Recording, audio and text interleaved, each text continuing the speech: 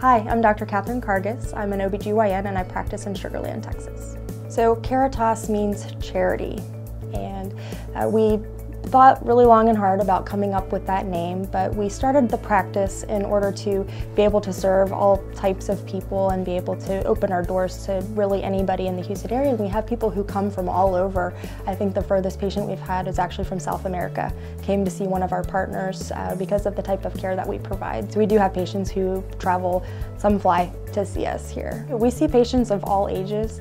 Uh, I think the youngest patient we've seen is 12. That's about the lowest age that we would see, 12 up to 90, I have a 94 year old.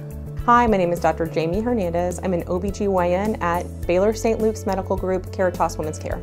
We offer a host of services, including um, benign uh, gynecologic care, including annual pap smears, um, mammogram recommendations, um, and then general wellness visits, as well as um, further investigation into some more gynecologic abnormalities, including uh, endometriosis, chronic pelvic pain, um, perimenopause symptoms or menopausal transition, infertility, polycystic ovaries, um, as well as offering uh, routine prenatal care or advanced prenatal care. Hi, I'm Dr. Brooke Jemelka, and I'm part of Baylor St. Luke's Medical Group. Our practice is Caritas Women's Care in Sugar Land, Texas. So our practice is geared around figuring out the underlying cause of problems, infertility, sometimes irregular cycles, hormone issues. So when patients come to us, we typically have them start charting their cycles.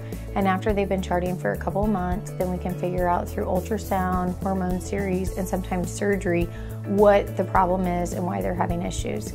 Really, it's been a great practice. All of us have similar beliefs, all of us have similar training, and it's a group of three female physicians, so a lot of patients seek us out because of that.